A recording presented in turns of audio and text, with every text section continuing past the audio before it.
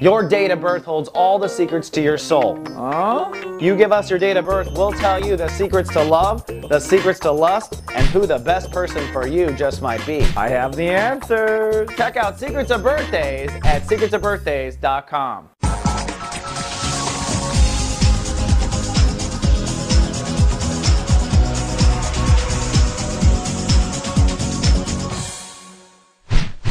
Hello, Scorpio. Welcome back from the weekend. Thanks for logging in to Soul Garden. Well, you're partly sunny, you're nesting and resting today. The moon has moved into Aquarius, and although we've just come from a weekend, this is your first day spiritually off. You're going to need extra loving care today, and it's going to be up to you to give it to yourself. So carve that space today. May make you cranky if you don't get it. You're emotionally highlighted when it comes to your self nurturing consciousness, the part of you that checks in on yourself or doesn't. So it is emotionally uh, charged. So if that part of yourself is happy, you might feel really centered, grounded, and amazing today. If that part of yourself is not content, you may be a little emotional today. Really determines, it's based on how well you have been energetically investing in your inner mother. Now, Zebedee the Sun. We're in chapter one of Sun in Taurus. We had a breakdown on Sunday, and today I'm predicting breakthrough. Now, the topic for Scorpios is your ability to manage and balance your life and relationships. That's what you're working on. So, somewhere over the weekend, an out of balance life, an out of balance relationship probably broke down. Most likely Sunday morning or Saturday night, to be specific. Today, it's time to figure out how did that happen?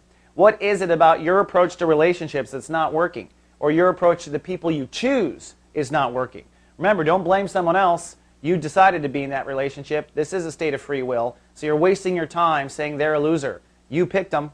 So now it's time to really figure out what's up. Or if you're single, this might be a, a, a, breakdown of like, okay, why am I not manifesting? Now here's the good news, Scorpio. Jupiter moving into this space June 5th is going to help you carry into happy, content, balanced partnerships and marriages. But we've got to get to the bottom of why you haven't been in one so far. And that's what today is about. Now, Mercury says simultaneously that you may have a breakthrough realization about your life at large today. Mercury went direct over the weekend, thank Goddess, and it's not wasting any time. In fact, it says, Scorpio, there's a new breakthrough way of looking at your life or looking at the moment, and it means you might have to make some changes with your faith or face a weed in your soul garden. That's because it is opposing that Jupiter, which is hard in chapter 3 in Sun and Aries or in Aries.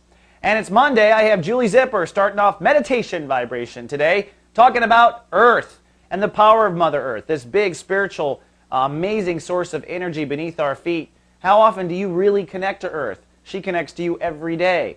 Julie will help you connect in a spiritual way everywhere the garden is blooming. All right, Scorps, that's all I got for you today, but tomorrow things get a little creative. Till then, live, love, be. So